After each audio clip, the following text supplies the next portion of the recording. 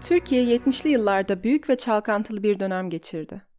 Hakim güçlerin ekonomik ve siyasi nedenlerle ülkeyi yönetmede ciddi sıkıntılar yaşadıkları bir dönemdi.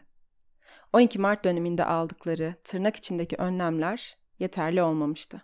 Yönetim düzeyindeki sorunlarını Demirel'in başkanlığındaki milli cephe hükümetleriyle aşmaya çalıştılar. 60'lı yıllarda ABD'nin soğuk savaş stratejilerinin bir gereği olarak geliştirilen sivil faşist hareketleri, kontrgerilla örgütlerini yoğun ve pervasız biçimde kullanarak muhalefet hareketlerini ezmeye çalıştılar. Bu politikalar Türkiye'yi bir iç savaş ortamına sürükledi. Bu gerçekte ABD emperyalizminin Türkiye'ye dolaylı bir müdahalesiydi. İçerideki özel kuvvetlerini kullandığı, özel yöntemler uyguladığı bir müdahale.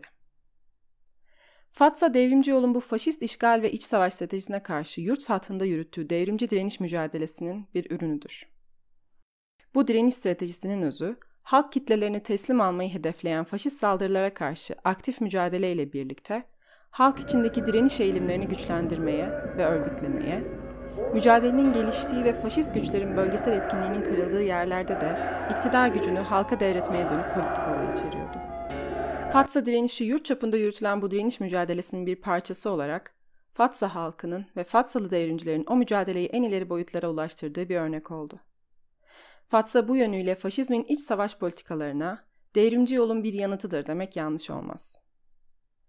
1979 yılında Fatsa'da halkın kendi kendini yönetmeye başlaması, sorunlarını el birliğiyle çözmesi, bütün Türkiye bir kan gölüne dönerken bu küçücük Karadeniz kentinin bir huzur ortamına sahip olması, devrimciler için bir başarı, yönetenler içinse bir korku kaynağıydı. Faşist güçlerin saldırılarıyla yaratılan iç savaş ortamı bütün Türkiye'de hayatı bir kara çevirmişken, Fatsa'da terzi fikri ve arkadaşları o kan denizinin içinde bir umut çığlığı gibiydi. Kan davalarını, kara borsayı ve kısa bir süre sonra tank paletlerinin işgal edeceği yolların çamurunu yok etmişlerdi. Orada kötülüğe direnmenin ve haksızlığa aman vermemenin, yeni bir hayatı yaratmanın yolunu açtılar.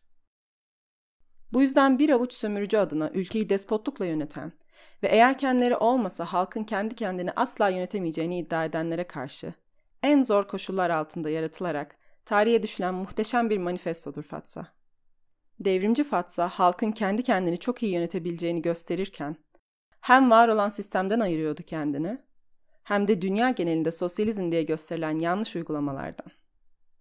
Bu yüzden Fatsa aynı zamanda reel sosyalizm denen anlayışın devrimci bir eleştirisiydi.